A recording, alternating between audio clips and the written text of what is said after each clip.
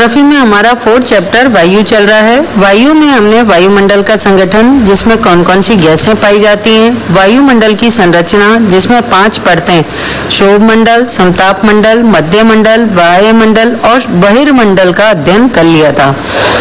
इसके बाद हम हमने मौसम और जलवायु का अध्ययन किया था।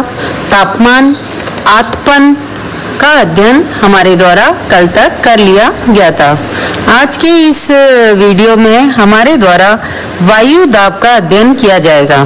वायु का दाब, वायु जो हमें चारों ओर से घेरे हुए है, वो पृथ्वी की सतह पर एक प्रेशर बनाती है, दबाव बनाती है, उसे ही वायु का दाब कहते हैं। जब भी वायु गर्म हो जाती है तो वो ऊपर उठने लगती है, क्योंकि हल्की हो जाती है।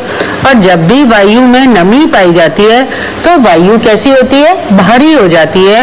और वो हमेशा वायु निम्न वायु दाब या पृथ्वी की सतह के पास अधिक निकट रहती है। यहाँ पर हमारे द्वारा जो अध्ययन किया जा रहा है उससे पहले वायु दाब को पढ़ने से पहले बच्चों हमारे द्वारा यहाँ पर कुछ जानकारी दे रखी है। क्या आप जानते हैं? पहले अपन उसका अध्ययन करेंगे। तापमान को मापने की मानक इकाई डिग्री या से, डिग्री सेल्सियस होती है। इसका आविष्कार एंडर सेल्सियस ने किया था। सेल्सियस पैमाने पर जल ज़ीरो डिग्री सेल्सियस पर जम जाता है और सौ डिग्री सेल्सियस पर उबलने लगता है। ये आपकी जानकारी के लिए है कि तापमान को सेल्सियस में मापा जाता है। वैसे आपको एक और जानकारी मैं दे दूँ, आगे की कक्षाओं के लिए आपके काम आएँगी।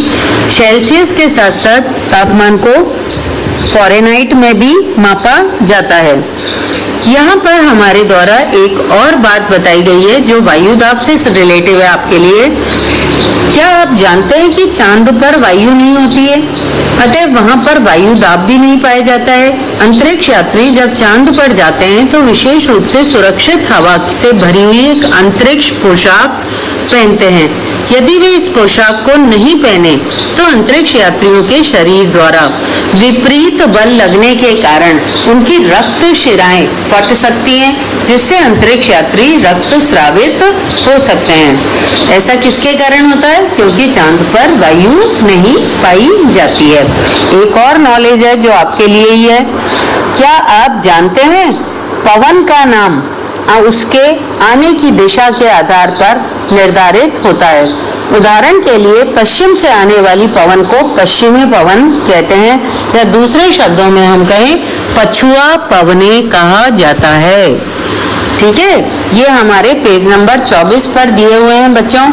यहाँ पर हमारे द्वारा आज वायु दाब से अध्ययन किया जाएगा। वायु दाब के अंतर्गत हमारे द्वारा जो अध्ययन किया जा रहा है बच्चों, उसी से ही अपन अपना चैप्टर स्टार्ट करेंगे। ठीक है?